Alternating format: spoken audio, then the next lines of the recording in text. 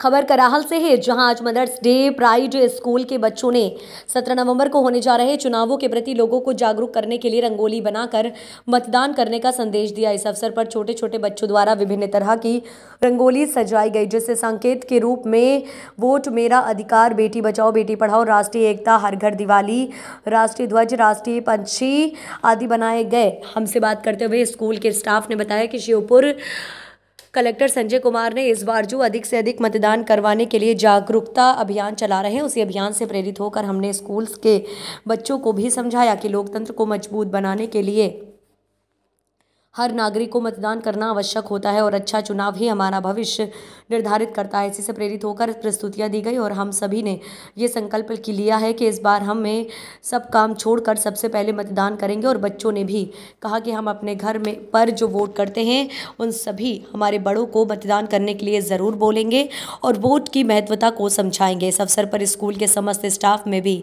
मतदान को लेकर अच्छा खासा उत्साह देखने को मिला। संवाददाता अमित श्रीवास्तव की रिपोर्ट। जी क्या नाम है बेटा आपका? मेरा नाम प्राप्ति गुप्ता है। किस क्लास में वहाँ पे मैं एट क्लास में पढ़ती ये जो आज क्या क्या कार्यक्रम कराया गया है स्कूल द्वारा? आज हमारे स्कूल में रंगोली कंपटीशन था। उसमें हमने एक रंगोली के माध्यम से सभी लोगों को वोट डालने का अनुरोध किया है। क्या कार्यक्रम आज यहाँ कराया गया है? बच्चों द्वारा ये रंगोलियाँ बनाई हैं। क्या मतलब है इसका? सर, आगामी 17 नवंबर को होने वाले हमारे लोकतंत्र के महापर्व मतदान के लिए हमारे छोटे छोटे बच्चों द्वारा रंगोली के माध्यम से संदेश देने की कोशिश की गई है कि हमारे बेहतर फ्यूचर के लिए और 17 नवंबर को आप सभी वोट करने अवश्य जाएँ। इसके लिए छोटे छोटे बच्चों ने भी प्रण लिया है कि हम अपने दादा, दादी, मदर, फादर सभी के लिए वोट करने के लिए अवश्य भेजेंगे।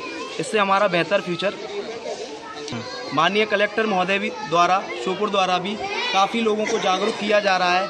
उसी के तहत हम लोगों ने भी एक आज विचार किया कि दीपावली के पर्व पर रंगोली के माध्यम से लोगों को संदेश देने की कोशिश की है कि कलेक्टर महोदय का संदेश भी सभी तक पहुँचे और सभी लोग मतदान करने अवश्य जाएँ सत्रह नवंबर को। जी मैम आज ये क्या स्कूल में क्या कार्यक्रम कराया गया है?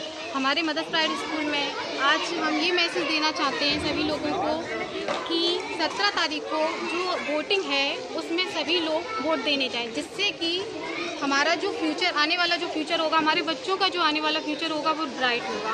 अगर हम वोट ही देने नहीं जाएँगे तो हमको पता ही नहीं चलेगा कि हमारे लिए कौन सही है और कौन गलत है। बच्चों को क्या समझाया इस बारे में? बच्चों को हमने ये समझाया है कि सर कि आप अपने दादा दादी मम्मी पापा भैया भाभी जो भी वोट देने लायक है आप उन सबसे बोलो कि आप वोट देने जाएँ। और उनको बताएँ कि इससे हमारा फ्यूचर आगे चल के अच्छा हो